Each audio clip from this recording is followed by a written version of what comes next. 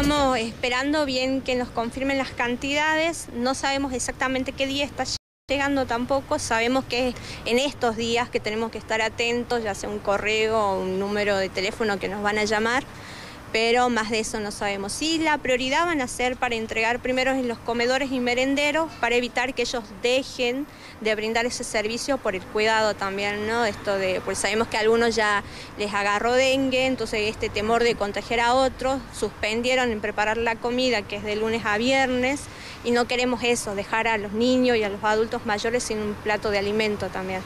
Eh, vamos a comenzar primero comedores y merenderos que pertenecen a la iglesia, eh, comenzando de lo que es ramal, porque sabemos que también son los que están afectados, todo este valle, porque es la zona roja, según con lo que fueron informando el gobierno y también por los informes que nos dan nuestros voluntarios de, de parte de la provincia.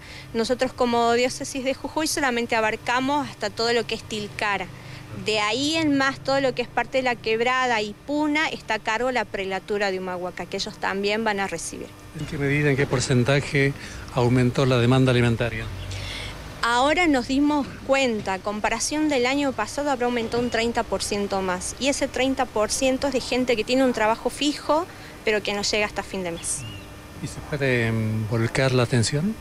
No, no, no, lastimosamente no, porque bueno, nosotros cuando llamamos a que nos donen, sí nos donan en lo que es ropa, pero hoy en día, viendo a la realidad actual, lo que es la parte económica y trabajo, sabemos que no nos alcanza a nadie, entonces es un poco difícil conseguir donación en mercadería. Sí contarles a la gente que cuando nos traen ropa, eh, y separamos una cantidad que está en buen estado y hacemos ferias solidarias.